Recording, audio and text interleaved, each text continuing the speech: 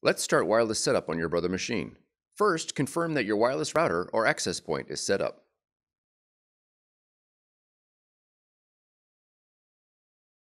Find out your SSID or the name of your wireless network. You may have to ask your network administrator or internet provider. Now let's use the CD-ROM to establish a wireless network connection between your computer and the Brother machine. You can also download the software from www.brother-usa.com. Place the Brother machine as close to the router as possible. Insert the installation CD into your computer's CD-ROM drive.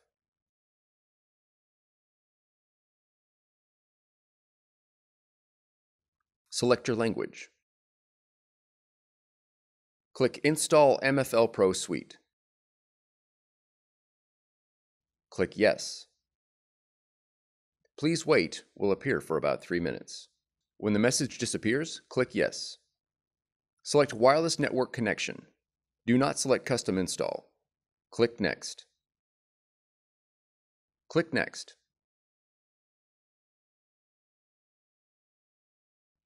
Select Checked and Confirmed, then click Next. Click Next.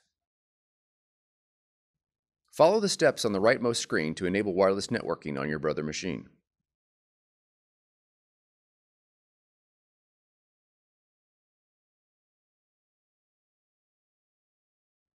On the machine's LCD, press Settings. Press Wi-Fi. Press WLAN Assistant. Press Yes. Press OK. Your machine will try to connect to your wireless network. It may take a few minutes. Press OK.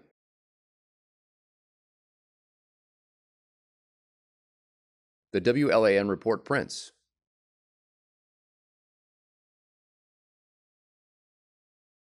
And the Wi-Fi LED on the machine's control panel lights up. You have completed wireless setup on your brother machine.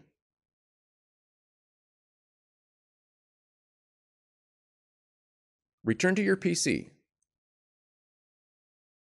Select Connection OK, and then click Next.